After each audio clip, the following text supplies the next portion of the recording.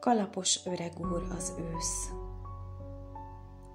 Kertek alatt keserű füstöt pöfékel, s csontos diófának dőlve nézi, parázdát szántott az idő ekéje.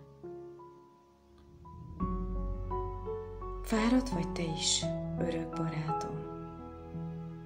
Kérdi a földet, s levetik alapját.